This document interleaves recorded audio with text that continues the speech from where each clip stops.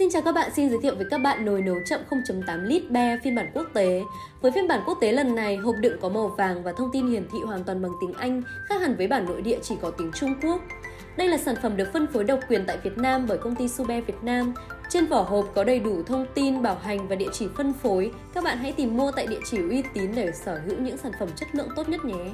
Đâu là sự nâng cấp của nồi nấu chậm 0.8 lít be phiên bản quốc tế? Ở phiên bản quốc tế, màn hình hiển thị hoàn toàn bằng tiếng Anh với 6 chức năng nấu, hấp luộc, hầm canh, nấu cháo dinh dưỡng, tổ yến, đồ ngon và giữ ấm. Đi kèm nồi có hướng dẫn sử dụng hoàn toàn bằng tiếng Việt và tiếng Anh.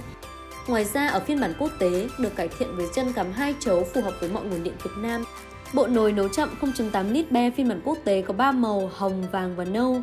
Nắp nồi được làm bằng nhựa PP, an toàn khi nấu và dễ quan sát trong quá trình nấu.